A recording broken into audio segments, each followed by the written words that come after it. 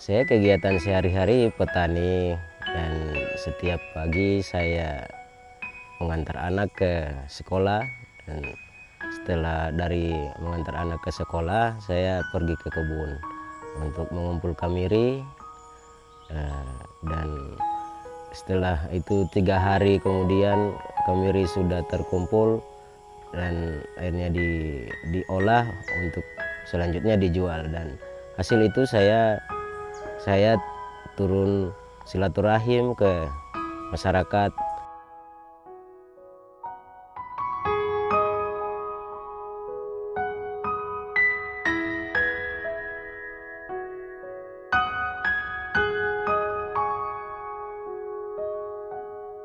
politik adalah salah satu hal yang lebih efektif untuk menyampaikan aspirasi masyarakat.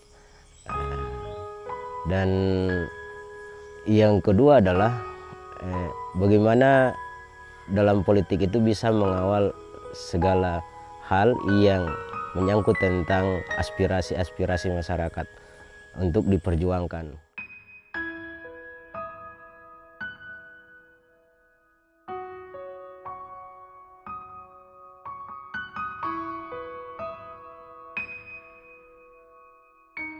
Kalau bagi saya tugas DPR itu sebetulnya yang diatur dalam Undang-Undang MD 3 maupun Undang-Undang Dasar pasal 20A ayat 1 itu. Yang pertama itu sebagai legislasi. Dan yang kedua adalah sebagai budgeting. Dan yang ketiga itu sebenarnya adalah sebagai controlling. Nah, hal ini yang yang membuat saya bahwa sebetulnya di legislatif itu yang lebih efektif untuk mengawal aspirasi-aspirasi masyarakat dan menyampaikan aspirasi-aspirasi masyarakat di di tingkat DPR.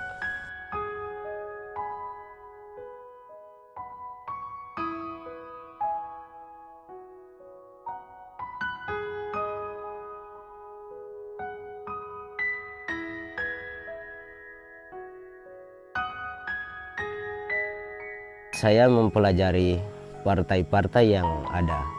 Nah, ternyata saya melihat sampai hari ini Gerindra adalah alat perjuangan atau jembatan perjuangan untuk demi kemaslahatan kemaslahatan umat maupun eh, masyarakat itu yang saya lihat eh, masih lebih baik